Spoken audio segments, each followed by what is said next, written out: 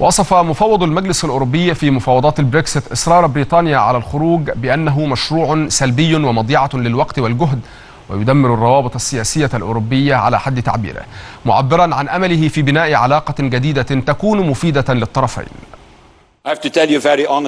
أقول لكم بصراحة ما ذكرته مرات عدة وأريد أن أكرر في لندن. ما زلت أعتقد أن خروج بريطانيا مشروع سلبي. وفي الواقع هو مضيعة للوقت والجهد.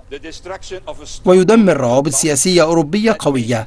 جعلت دول التكتل أقوى وأغنى وأكثر حرية. لكن نحن ديمقراطيون. ونحترم نتائج الاستفتاء.